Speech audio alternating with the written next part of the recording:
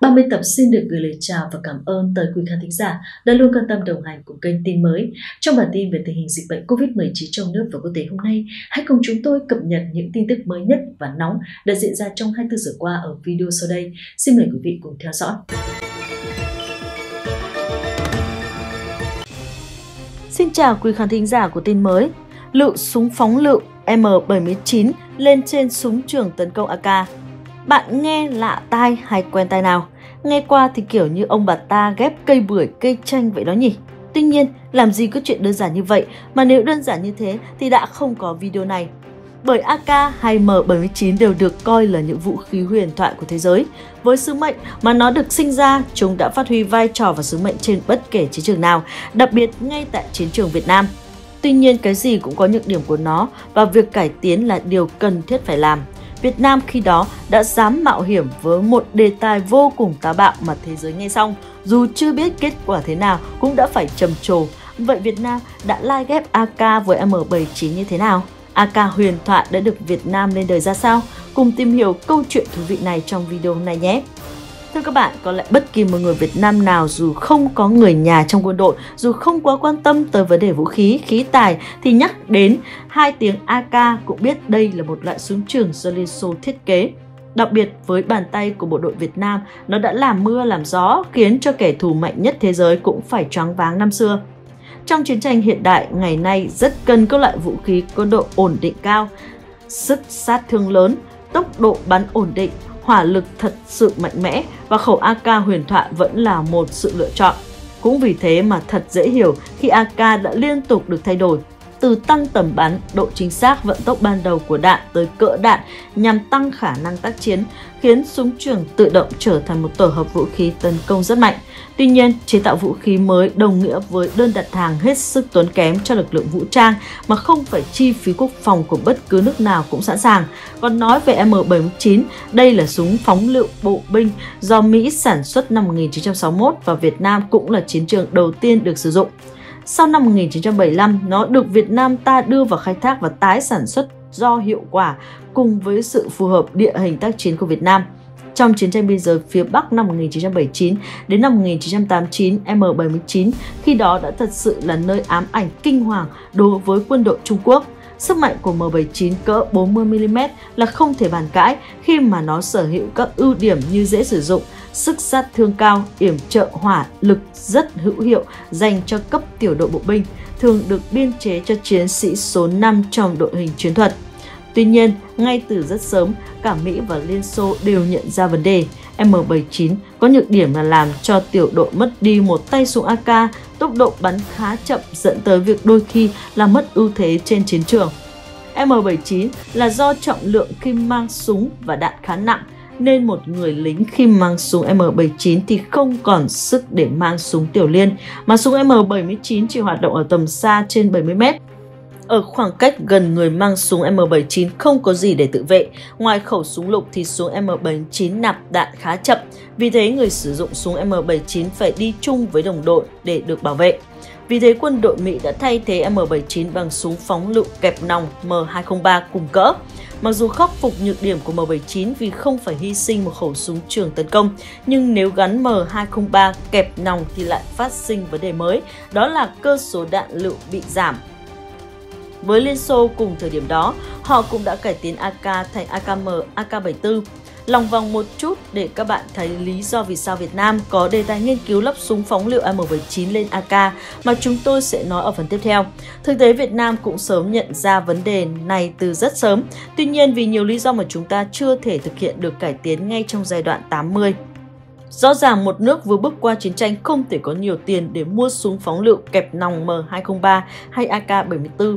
Trong khi đó, trong kho niêm cất chúng ta có cả nghìn khẩu M79 do tịch thu được của quân đội Mỹ và Việt Nam Cộng Hòa. Đặc biệt, một nước đã trải qua nhiều năm tháng chiến tranh, số lượng cán bộ chiến sĩ bao gồm cả lực lượng dự bị động viên ở các độ tuổi và dân quân tự vệ đều đã quá quen với AK đây là điều rất quan trọng. Vì thế, việc cải tiến những người bạn cũ như M79 hay AK với tính năng mới, khả năng tác chiến cao hơn nhưng vẫn quen thuộc đối với người lính đã được đặt ra.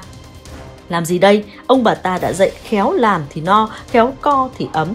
Thôi thì cách tốt nhất là hãy dùng chính những gì mình có, mà cụ thể đó là súng pháo liệu M79, súng AK và trí tuệ người Việt. Có lẽ, theo chúng tôi, đó là suy nghĩ của những đồng chí thực hiện đề tài khi đó. Chính vì vậy, ngay sau khi quân Trung Quốc hoàn toàn rút khỏi Việt Nam, quân đội Việt Nam đã bắt tay ngay vào việc giải quyết vấn đề. Cụ thể, theo biên niên sự kiện của Viện Vũ khí, đầu những năm 1990, phòng thiết kế súng pháo đã tiến hành đề tài nghiên cứu lắp súng phóng lựu M79 lên AK do đồng chí Ngô Cẩm Tú chủ nhiệm đề tài. Tuy nhiên, sau thời gian nghiên cứu và lắp thử thì mẫu thử khi đó đã không thành công. Khối lượng súng nặng hơn vì hai ống ghép lại một. Hơn nữa, khi bỏ ống phóng lựu thì AK không sử dụng được bình thường. Dĩ nhiên chúng ta cũng không đầu hàng ngay lập tức. Theo một số thông tin, tới giữa năm 1991, trong khoảng thời gian một tháng, nhóm thiết kế đã đề xuất cải tiến súng phóng lựu lắp lên AKM với 3 điểm sau. Thay đổi phương pháp lắp đạn, thay khóa nòng sang kéo rút khóa nòng, thiết kế giá lắp trung gian để nguyên nắp dưới, thiết kế cơ cấu giữ nắp ổ khóa nòng. Sau đó, những cải tiến này được áp dụng để thiết kế thử tại nhà máy Z179 và cuối cùng bắn kiểm tra tổng hợp tại nhà máy Z113. Xem xét quá trình triển khai đề tài cuối cùng có kết luận với những cải tiến này nếu so với M79 nguyên bản thì gần như tương đương tính năng ban đầu, sử dụng thuận tiện đáp ứng yêu cầu kỹ năng chiến thuật. Tuy nhiên sau đó đề tài cũng chỉ dừng lại tại đây. Các bạn thân mến, như vậy có thể thấy đề án lắp súng phóng địa M79 lên súng trường AK của quân đội ta đã không thành công như mong đợi, hoặc ít nhất không có thông tin về nó được công khai nữa. Tuy nhiên, sự thất bại này hay nói cách khác, sự dừng lại này lại mang đến tính hiệu tích cực. Nó phản ánh quân đội ta hiểu sự cần thiết trong việc cải tiến hỏa lực bộ binh. Hơn nữa, nó cho thấy sự dám nghĩ, dám làm, mức độ quyết tâm cải tiến, chế tạo vũ khí của Việt Nam. Ít nhất nó đặt tiền đề cho những cải tiến sau đó mà chúng ta phải mất thêm gần 30 năm mới có thành tựu. Đó là súng phóng lựu kẹp nòng OPL 40M. Năm 2018, trong triển lãm quốc phòng quốc tế Indo Defense 2018, Việt Nam đã trình làng súng phóng lựu kẹp nòng OPL 40M.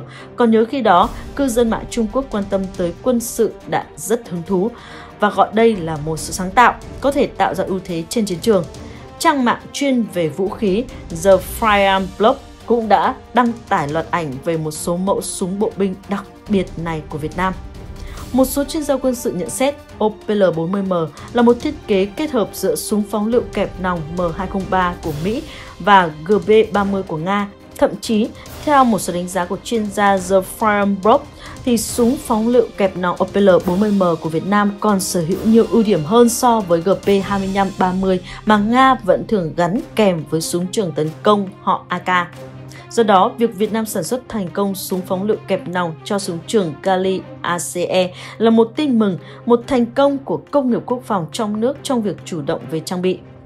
Theo đó, quan sát sơ bộ thì nhận thấy OPL-40M của Việt Nam mang rất nhiều đường nét lai tạo giữa khẩu M203 cổ điển với GL-40 hiện đại do tập đoàn IWI của Israel sản xuất. Súng phóng lựu OPL 40M có thiết kế hiện đại với nòng kéo được về phía trước và nghiêng qua một bên, cho phép nạp các loại đạn lựu dài. Thiết kế này tốt hơn của M203 rất nhiều và tương tự với M203 cũng rất dễ nhận thấy súng phóng lựu OPL 40M còn có một đường dây nhỏ để lắp thước ngắm cơ khí hoặc kính ngắm quang học giúp nâng cao đáng kể tầm bắn hiệu quả. Ngoài ra, phải khẳng định Việt Nam đã có năng lực tự nâng cấp các loại súng AK có trong biên chế. Công nghiệp quốc phòng Việt Nam đã tự nâng cấp, tăng cường hỏa lực thành công cho súng trường tấn công STL-1A cỡ nòng 7,62mm. Loại súng trường này kỳ thực chính là phiên bản bản địa Việt Nam, chế tạo theo giấy phép của khẩu AK-74 AKM. Phiên bản STL1A cải tiến có thể là lắp thêm ống phóng lựu M203 cỡ 40mm UGL thay thế báng gỗ bằng vật liệu phức hợp.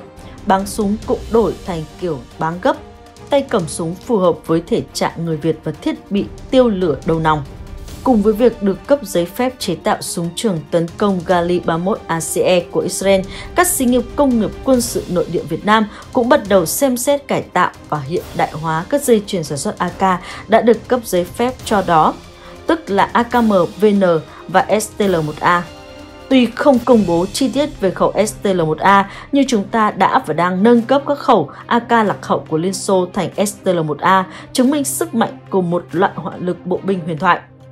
Thưa các bạn, thất bại là mẹ thành công, điều này không sai với đề tài lai ghép AK với M79.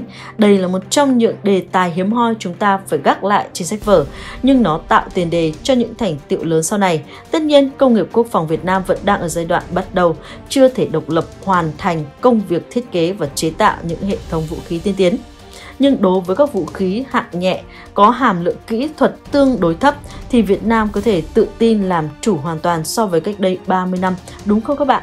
Video của kênh xin được kết thúc ở đây. Nếu các bạn nhận được thông tin gì thú vị và ý nghĩa thì hãy dành cho kênh tin mới sự ủng hộ bằng cách chia sẻ video đến mọi người nhé. Cảm ơn các bạn đã quan tâm theo dõi. Còn bây giờ xin chào và hẹn gặp lại.